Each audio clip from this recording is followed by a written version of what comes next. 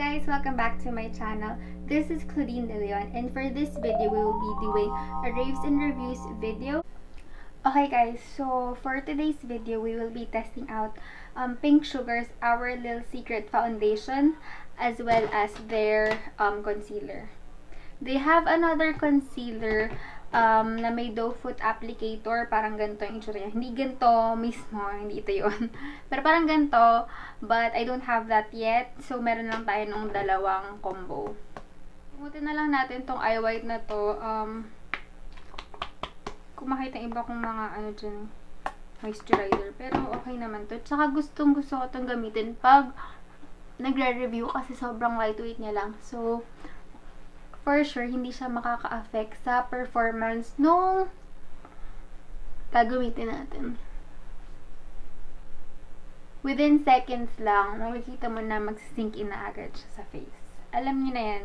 Okay, for my primer, I'll be using this um, high spreadability fluid primer from The Ordinary.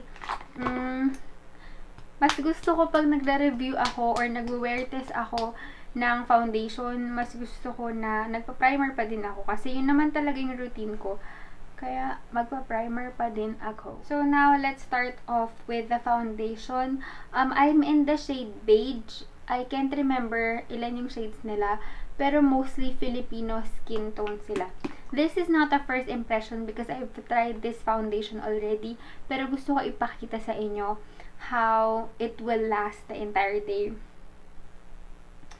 So, all day, it claims that it's all day coverage with aloe vera and green tea extracts. So, ayan siya. Powder finish siya, guys. Sinasabi ko na sa inyo. So, ang kailangan natin gawin, ano, at saka mabilis siyang mag-set. So, isang part muna ng face natin yung lagyan natin or else magsiset siya agad and it's not good. Pangit siya tingnan. Ayan. As you can see, meron talaga siyang coverage agad. Kita niyo naman, di ba?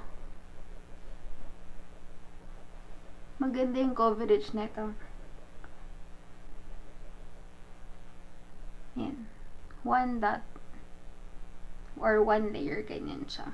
So, ayun nga, section by section ng face ko ang gagawin ko para maayos. By the way, I am using AOA's um, sponge. Favorite ko to. Um, hindi talaga ako fan ng mga sobrang mahal na mga beauty blender. Pinakamahal ko na na nabili is yung sa Real Techniques na original. Pero, sinira ni Broper agad.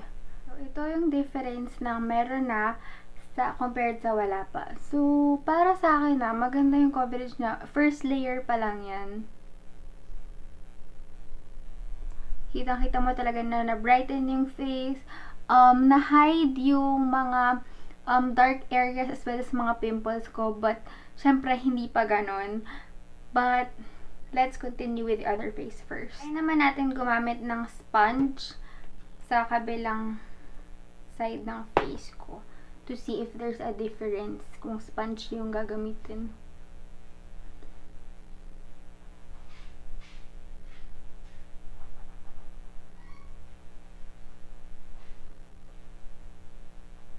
ito na yung first layer, guys. Wala naman ako naging problema din sa sa um, using a brush.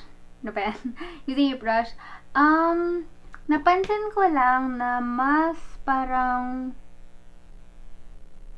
covered um, yung ano ko, yung pores ko dito sa side na to when, when using a sponge. Nonetheless, okay siya. You know what? Dahil powder finish siya and ang bilis niyang mag-set, ayoko nang mag-second layer.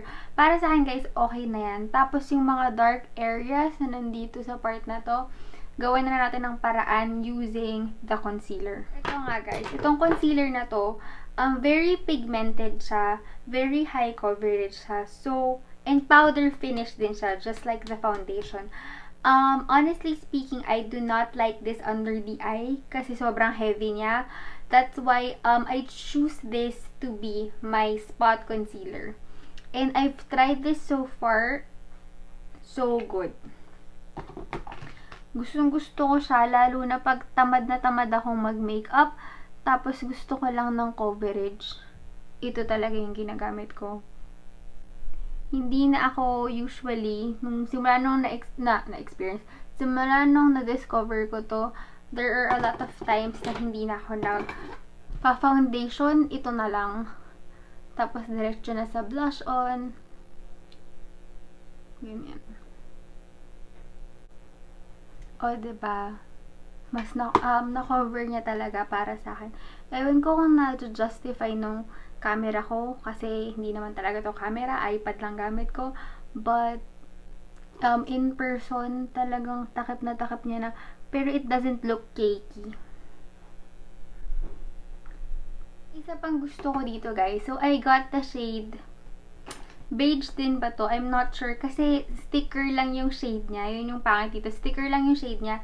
So, pag binuksan mo na kasi tatanggalin mo yung seal, mawawala na yung shade. Hindi ko maalala. Basta, um, lalagay ko na lang sa screen. Blinag ko na naman to. Nandun yung shade ko dun eh. Ito, so ang gusto ko dito, yung shade na kuha ko, sobrang kakulay ko siya. So, perfect talaga siya for spot concealing. Kasi, um, parang second skin mo lang siya. Pag na-blend mo siya ng maayos. Ito lang talaga yung, um, syempre, mangingibabaw kasi medyo mataas siyang pimple. But as you can see, yung ibang part, flawless na. And these are the type of concealers as well as foundations that um, you can skip setting. Syempre, importante pa din mag-set um, para maiwasan natin yung pagkikrease, ganyan. Pero, ito, pag nakalimutan mo mag-set, mag-set for example, it is okay kasi powder finish siya. So, di siya malagkit. Pero, syempre, mag-set pa din tayo para na din sa um, longevity ng na wear test natin. Yan lang ako sa konting part na to and I'm good isa pang trip kong gawin dito guys is pag, lalo na pag walang foundation, I like um, using my fingers to blend it para feeling ko kasi yung natural um, warmth ng body natin, ng hand natin, nakakatulong siya para mas ma-absorb ng skin yung product and mas natural siyang tignan. So, ayan.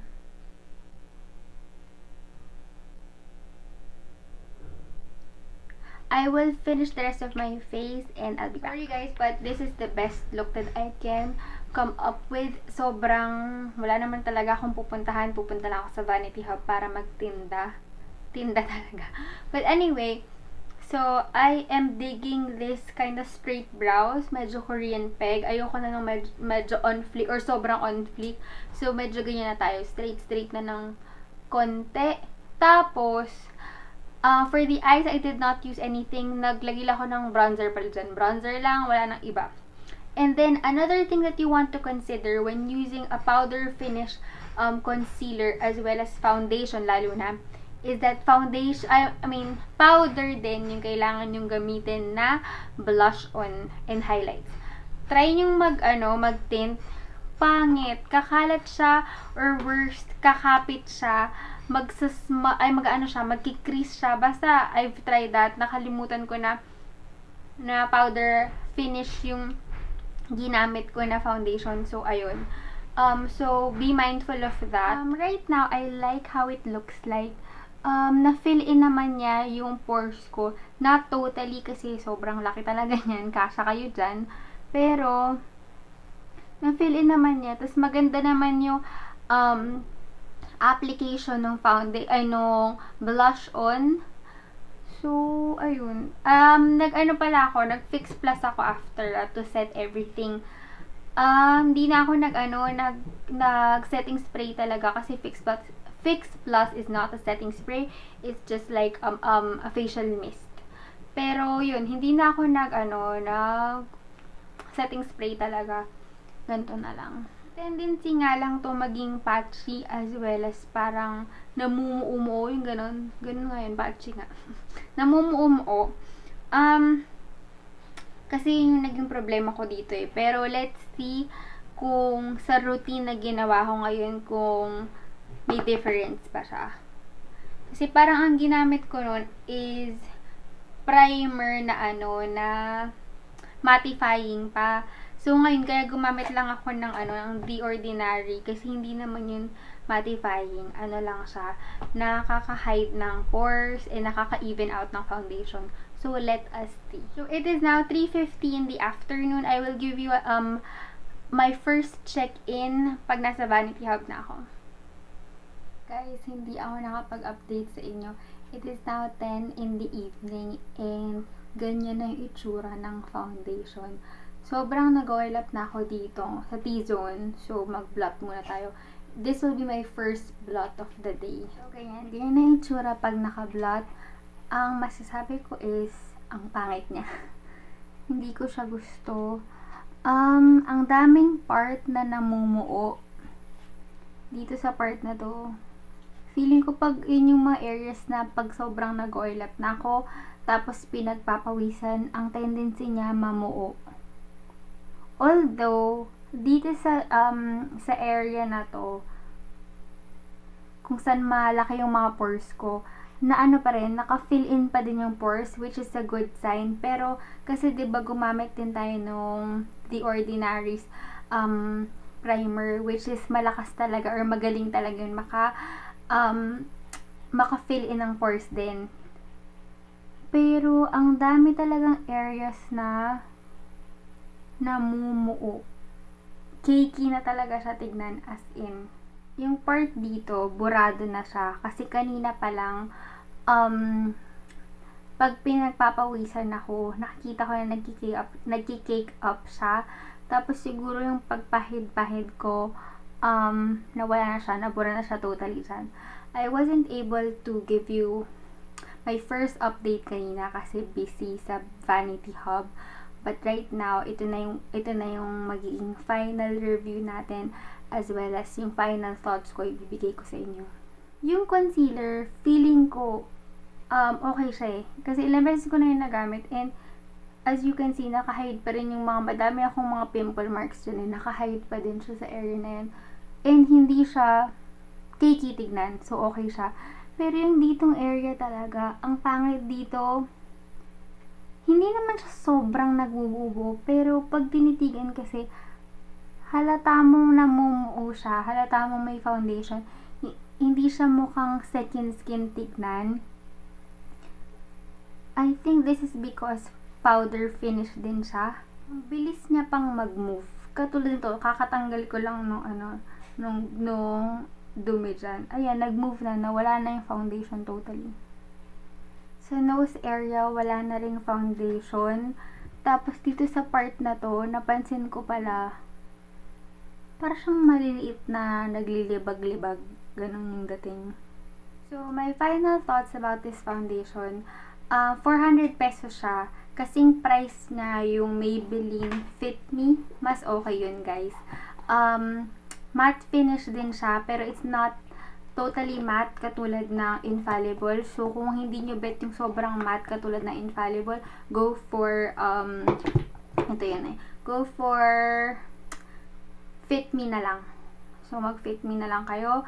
Tapos, yun, you can skip the foundation, pero yung concealer maganda naman talaga. So, yung concealer na lang yung kunin nyo. Hindi ko masasabi kasi na dahil to sa routine na ginawa ko kasi I've tried different routines na gumamit ako ng ibang primer, gumamit ako ng ibang moisturizer, and ganito pa din. Um, I did not mention that earlier kasi gusto ko syempreng makita kung may difference. Pero nung ilang beses ko itong na-try, lagi siyang namumuo sa akin. Tapos yun nga rin yung first time na nasabihan ako ni Bri na burahin ko na lang yung foundation ko kasi ang pangit niya na. Dito naman siya namumuo nun.